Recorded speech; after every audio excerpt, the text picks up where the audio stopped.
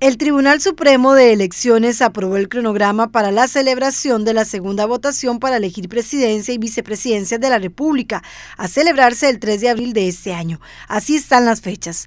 Para marzo, Lunes 7, último día para que los partidos políticos que participan en las votaciones del 3 de abril acrediten sus nuevos fiscales.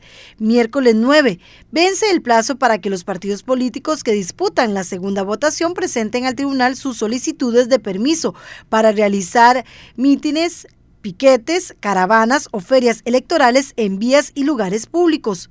Sábado 19, fecha límite para que el tribunal distribuya en forma impresa y dividido por distrito electoral el respectivo padrón a cada junta cantonal.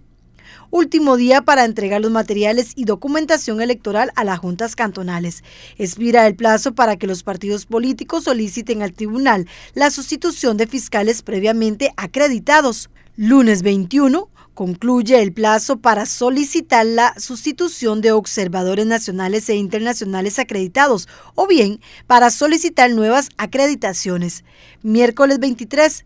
Vence el término para que los partidos políticos que no participarán en la segunda vuelta electoral puedan incluir aquellos gastos justificables generados por su participación en el proceso electoral a efecto de obtener la contribución estatal.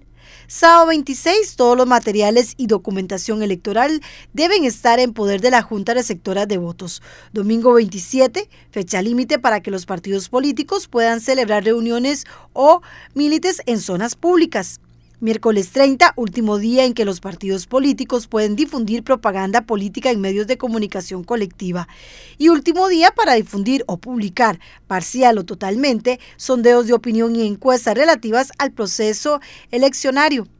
Y en abril, el domingo 3, será la segunda vuelta de elección presidencial. También es el último día en que las televisoras y radioemisoras del Sistema Abierto Nacional deben ceder gratuitamente al tribunal los 30 minutos mínimos semanales, que ordinariamente le corresponde al Ministerio de Educación Pública.